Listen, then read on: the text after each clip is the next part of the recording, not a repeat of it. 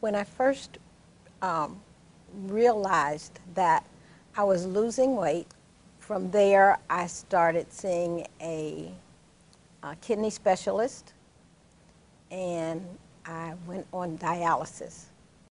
While I was on dialysis, I uh, was told about uh, getting my name on the kidney transplant list, and I was referred to um, the kidney transplant team at Christ, Dr. Mital and Dr. Chabra, and there's a whole team. There are nurses and nutritionists and dietitians. They, they all um, interview you initially and sort of tell you what to expect with a transplant or not. But I was already sold on a transplant. All I needed to do was find a kidney. When I first found out that I had to go on dialysis, I told some of my family, and they, um, several of them said they would give me a kidney. Kina, however, was the only one that followed through with it and went through all of the testing to find out whether or not she could give me a kidney and that we matched. Well, I knew that other family members would want to help my aunt. I did not think I would be the only one, and I was right. Um, so I went in for testing, and it was relatively simple. It was a simple process, a lot of testing, but it was all the same. Well, the day of the surgery was came very quickly. Uh, we met up in the hospital, and uh, we did a little bit of test that morning. We both went into surgery, and uh, I left the hospital about 14 hours after the surgery. So it was it went very quickly for me.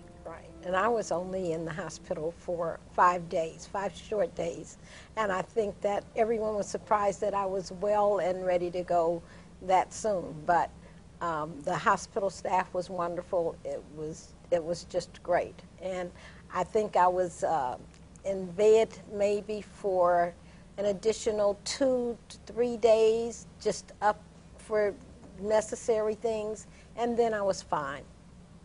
I was out of the hospital early and I needed to get back to work, so I went back to work 10 days after the surgery. So uh, it went very smoothly, very easy process, and I didn't have any trouble after the surgery. Unfortunately, I was retired, so I had a couple of weeks of leisure time with my uh, son cooking for me Oh. and people visiting, and it was just really uh, an easy time after the surgery.